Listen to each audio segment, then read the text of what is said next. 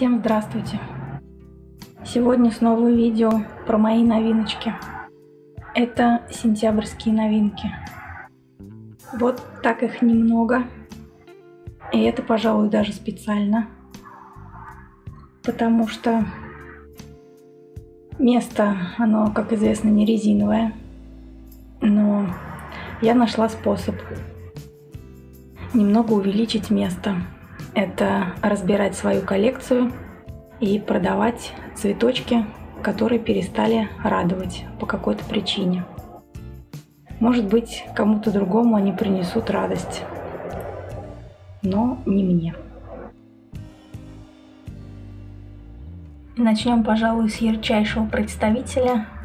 Это Эпипремнум Leaf или Marble Apple. Мне кажется, это одно и то же название одного цветка.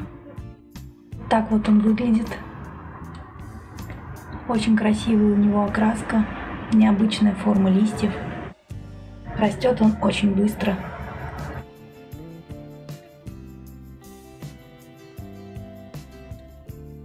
И что самое приятное, я его поменяла. Ох, как мне нравится обмениваться цветами. Это просто что-то неописуемое. Вот такой вот красавчик достался мне по обмену. А поменяла я его на хлорофитум бони.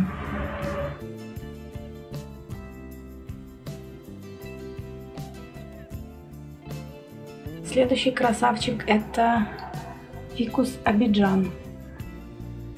Он очень похож на обычную зеленую рабусту, если не стоит рядом она, то их можно перепутать. Но если их сравнивать вместе, то разница, конечно, очевидна. Абиджан, он гораздо темнее. Его я, конечно, купила, но по очень привлекательной цене. Он стоил всего 350 рублей. Его я еще не пересаживала. Он, конечно, немножко пострадал, так как стоял две недели на границе, его не пропускали, но все-таки он до меня добрался. Вот немного пострадал листочек, но я думаю, ничего страшного, он один. И он вроде бы растет, вот этот лист распустился уже у меня. Все вроде хорошо, он растет. Немножко позже пересажу.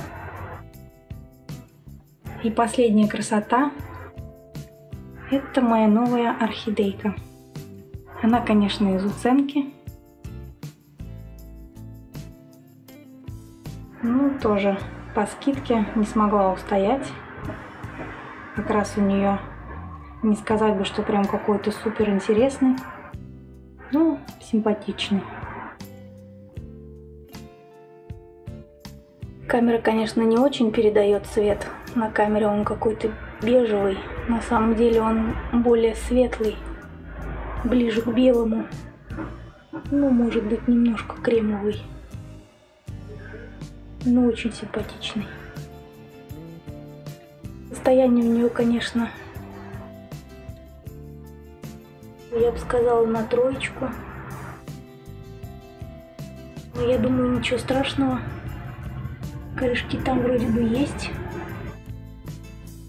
Ее нужно, конечно, полить немножко, чем я сейчас займусь. Но мне очень понравилось. Вот такая вот веселая компания. Теперь будет жить на моих полочках.